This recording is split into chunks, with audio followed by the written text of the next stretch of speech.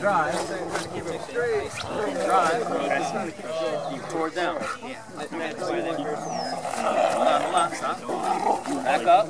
If you get out of control and he ends up over here, stop him back up. Yep. So now, snatch him around a little bit. Now drive this way.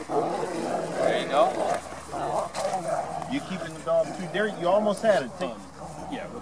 Follow your elbow. You're following the handle. Lock up and make him like Out! He's going toward the handle, not the elbow. I mean, there has to be.